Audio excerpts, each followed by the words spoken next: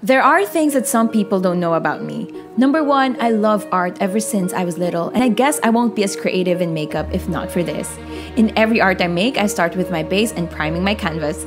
Here I'm using snail pink serum that controls oil, making my skin look smooth and freshly matte, ready for my foundation, which is the Automatic Aura Matte Powder Foundation that gives me not only an amazing full coverage, but also the sun protection that I need since it has SPF 50 PA+++, and all we have to do is pat the product away with its reusable puff. It may look lighter, but thanks to sculpting cushion that has two mixable shades, it can be used as highlighter or contour or just to warm up the skin with both. And just like in sketching, shadows are important to achieve a dimensional look. And it's made easy on the face with this product. To set everything in place, I'm using Geisha Niigata Malt Powder and this smells really good. This is rich in antioxidants that reduces skin aging and it instantly mattifies the face with a sponge that comes with it or a brush of your choice. On to my next love, travel and photography. I love exploring, appreciating what's around me, and seeing the world in a frame with my own eyes.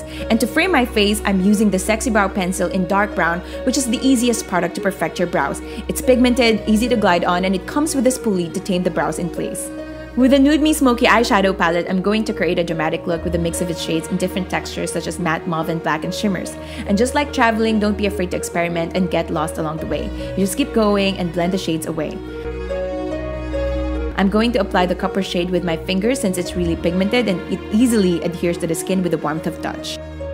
For a winged liner, Geisha Motero Gel Liner in Pot has both a gel back formula and efficient applicator for a beautiful finish. It also comes with a red shade that you can use as eyeshadow, and in my case, I applied it on the lower rim of my eyes using a brush.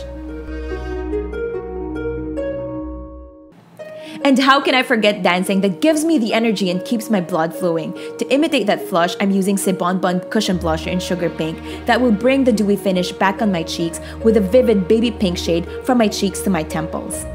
And last, for the love of food that makes me appreciate variety and longevity, just like the Nude Me Liquid Lip Matte and Geisha Hanazakuri Lip Matte, I'm mixing both to achieve a brand new shade just like in eating when one is never enough.